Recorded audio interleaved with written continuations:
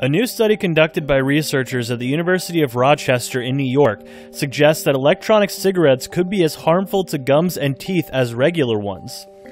The study, which was published in the journal OncoTarget, found that the flavoring chemicals used in e cigarettes may damage cells in the mouth.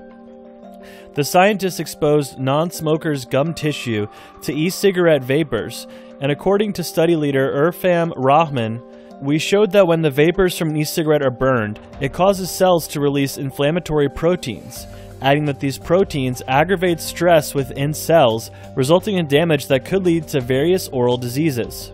The team's findings appear to counter arguments that the battery operated devices are a healthier alternative to cigarette smoking, and indicate that more research is needed to better understand the adverse health effects of e cigarettes.